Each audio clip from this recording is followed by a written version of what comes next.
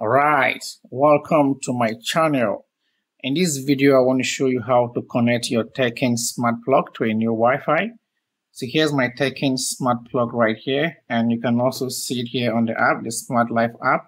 So to change the Wi-Fi, what you need to do is to reset the plug. It's going to remove it from the app so you can set it up again and connect to a new Wi-Fi.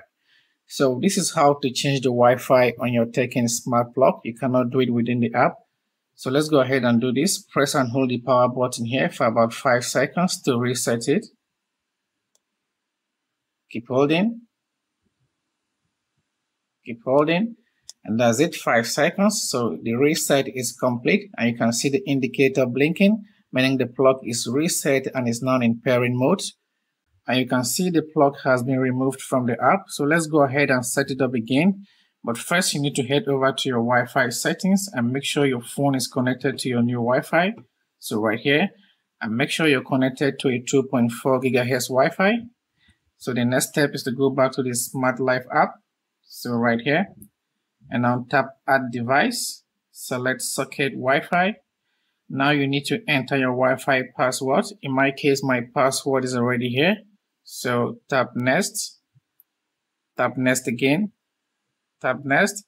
So confirm the indicator is blinking. So it's blinking.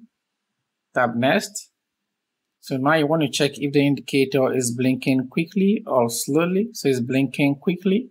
Tap blink quickly. So now we need to wait a few seconds. It's connecting to the new Wi-Fi.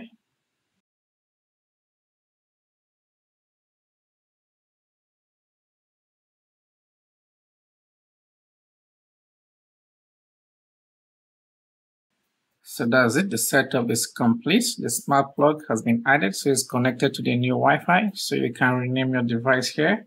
Tap finish, tap done. So you can now control your smart plug through the app.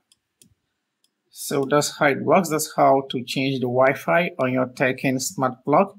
Another way to go about this is to rename your new Wi-Fi to match your old Wi-Fi. You want to change your new Wi-Fi's SSID and the password to match your old one.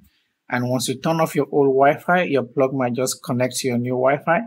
So that's it, but this doesn't work all the time. So the most efficient way to go about this is to reset your smart plug and then set it up again and connect to the new Wi-Fi.